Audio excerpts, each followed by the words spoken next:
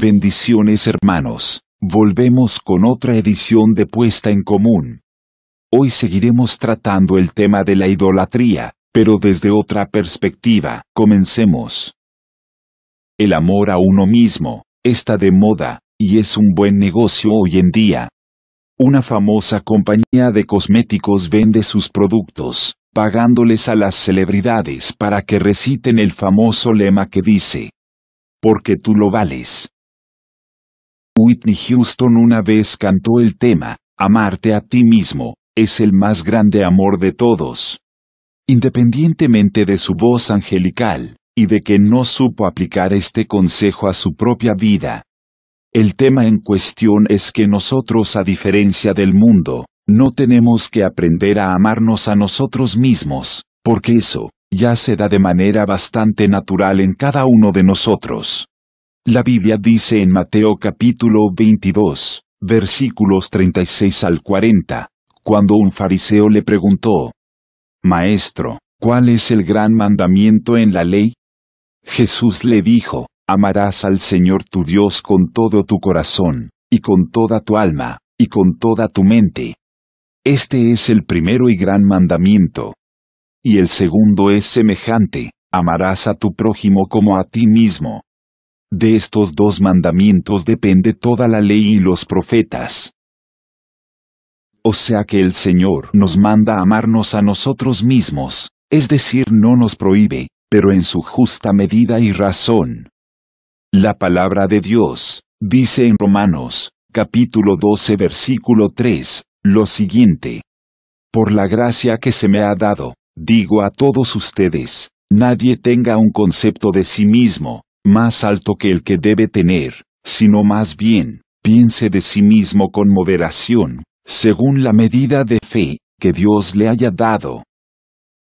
La Biblia revela un mundo que está lleno de amantes de sí mismos, incluso nuestra propia existencia, es una clara ilustración de este tema, porque puede que en repetidas ocasiones, nuestro corazón, esté lleno de nuestros propios intereses y afanes, Jesucristo vino al mundo, para librarnos de la esclavitud que ejercía el pecado sobre nuestra vida. Y amarse a uno mismo es la más cruel de todas las esclavitudes, porque nos lleva a estar cautivos de situaciones que nosotros mismos creamos. Porque no siempre somos víctimas de las circunstancias, Muchas veces somos nosotros mismos los que nos metemos en problemas. Eso lo tenemos que admitir, y esto ocurre porque pasamos todo nuestro tiempo, corriendo de un lado al otro, tratando de asegurar nuestro futuro, nuestro éxito, o de darle un significado a nuestra vida, sin la guía de Dios. En otras palabras, pasamos gran parte de nuestro tiempo siendo dueños de nuestro propio destino, alejados de la guía de Dios muchas veces, jugamos a ser Dios, creando nuestro propio mundo, nuestro propio espacio, estableciendo nuestras propias reglas, tratando de agradarnos a nosotros mismos sin pensar en nada más que hacer lo que se nos plazca, buscando placer y gratificación personal. En ese mundo, creado por nosotros mismos, no hay lugar para otro gobierno que no sea el propio, y toda persona que quiera formar parte de nuestro mundo, se convertirá irremediablemente en un medio para nuestros propios fines. Para ser más gráficos, pongamos un ejemplo. Supongamos que una persona tiene problemas con la pornografía. Cada vez que entra a su cuarto para navegar por la red, su ser interior, inconscientemente está diciendo, Este es mi mundo, que nació de mi propia concupiscencia. Aquí yo soy Dios, porque puedo gobernar y hacer lo que se me plazca.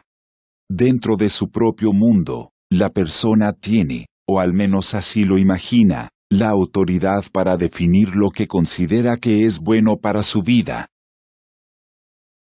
¿Podemos ver las muchas implicaciones que tiene esta perspectiva? Si nuestra vida se centra, en amarnos a nosotros mismos más que otra cosa, no estamos viviendo el Evangelio enseñado por nuestro Señor Jesucristo. Lo que estamos haciendo en realidad, es practicar el hedonismo, El hedonismo es el culto al placer y a la gratificación personal. En Génesis capítulo 3, vemos que Adán y Eva en vez de amar a Dios, se volvieron amantes de sí mismos, cuando rechazaron la autoridad de Dios, y actuaron por su propia cuenta. Amar a Dios y a los demás, es la más liberadora de todas las verdades, y nos da más de lo que podemos imaginar. Porque cuando amamos a Dios y a los demás, le damos la gloria a Dios. Pero es solo su gracia la que puede hacer esta obra en nosotros. Siempre y cuando le permitamos al Espíritu Santo de Dios obrar en nuestras vidas, a través del arrepentimiento. El arrepentimiento ve al pecado como lo que es. Detecta que en lugar de cumplir el propósito original de amar a Dios y a los demás, escogemos ser amantes de nosotros mismos. Pero el arrepentimiento por sí solo, está incompleto, ya que cualquier persona que no profesa la fe en Jesús, puede llegar a dejar de hacer algo en particular, porque simplemente considera que le hace mal, o que no vale la pena seguir haciéndolo. Ahora bien, muy distinto es el arrepentimiento que viene en relación con Jesucristo, o sea que viene de la mano con la fe. Porque la persona en este caso, no solo deja de hacer lo malo, no solo se aparta del pecado, sino que además, se vuelve a Cristo, porque el arrepentimiento que va acompañado de la fe, es un arrepentimiento centrado en el Evangelio. La fe, es un regalo del Espíritu Santo, y es el medio a través del cual, abrazamos la verdad del Evangelio de la gracia. El arrepentimiento que va acompañado de la fe, permite que nuestro corazón se llene del amor de Dios, y que las obras de la carne, inmoralidad sexual, impureza, inmundicia, libertinaje, idolatría y demás, sean reemplazadas por los frutos del Espíritu Santo, amor, alegría, paz, paciencia, amabilidad, bondad, fidelidad, humildad y dominio propio. Para ir concluyendo, a todos nos hace falta morir cada día, a nuestro yo. Porque hay demasiada gente que vive enamorada de su yo. Y precisamente lo que Dios quiere es, pulverizar a nuestro yo, a muchos de nosotros nos haría bien entender en estos tiempos, lo que dijo Juan el Bautista, en Mateo, capítulo 3, versículo 30. Es necesario que Él crezca, y que yo mengüe. Y la pregunta es, ¿estamos dispuestos a morir a nuestro yo? Hasta aquí, el mensaje del día de hoy. Nos vemos en la próxima edición de Puesta en Común. Bendiciones.